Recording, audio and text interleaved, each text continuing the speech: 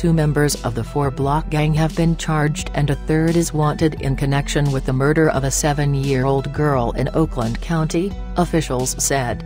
The shooting happened before 5 p.m. March 18 near the intersection of East Paddock Street and Wilson Avenue in Pontiac, according to the Oakland County Sheriff's Office. The mother of Aurea Jackson, 7, of Pontiac, said she was waiting at the school bus stop for her two children and two nieces when she noticed an orange SUV occupied by two men drive past.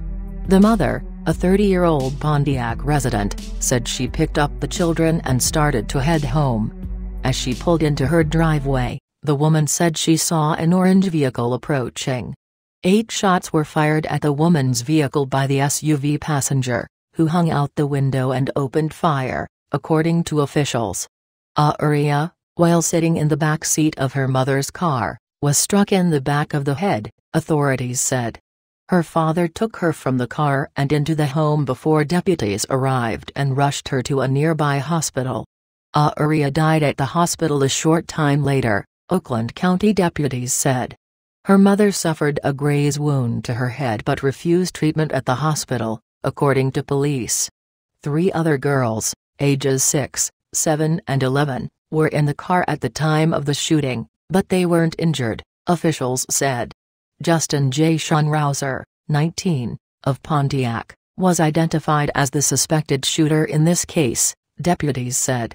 Rouser is a known member of a violent street gang called Four Block, according to authorities. Detectives said they located the Troy residence where Rouser was believed to be hiding out. Authorities moved in on the residence Wednesday and saw a vehicle with two men inside driving away, they said. The vehicle was stopped within minutes, and Rouser was identified as the front passenger, officials said. He was wearing a ski mask to conceal his identity, according to deputies. More than 20 detectives and agents from the U.S. Bureau of Alcohol, Tobacco, Firearms and Explosives worked on the case.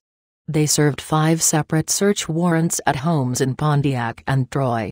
I am proud of our team and grateful for the assistance of ATF agents, as they worked seamlessly to quickly identify the suspects in this horrific and senseless murder of an innocent child, Oakland County Sheriff Michael Bouchard said. The wrong people are afraid in our community.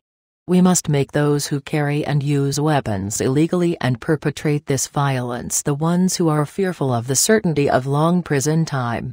Children coming home from school should never be afraid.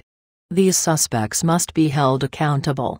Rouser was arraigned Friday on 10 felony charges, one count of first-degree murder, four counts of assault with intent to murder and five counts of possession of a firearm while in the commission of a felony. He is being held without bond at the Oakland County Jail. A probable cause conference is scheduled for April 5.